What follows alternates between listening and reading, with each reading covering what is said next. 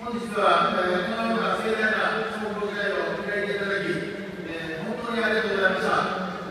関係各位、各連盟の皆様、心より感謝を申し上げます。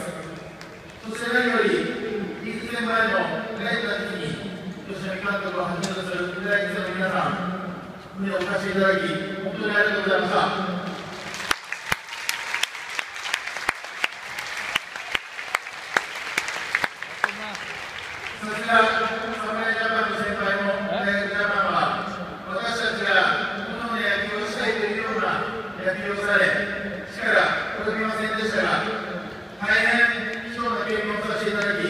勉強させていただきましたこの経験をもとに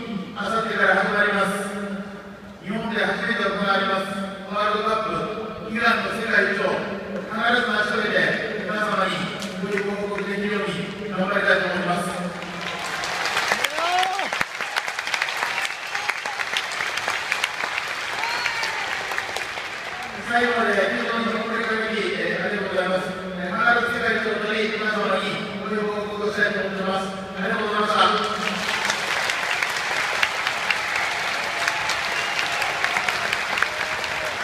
日本大学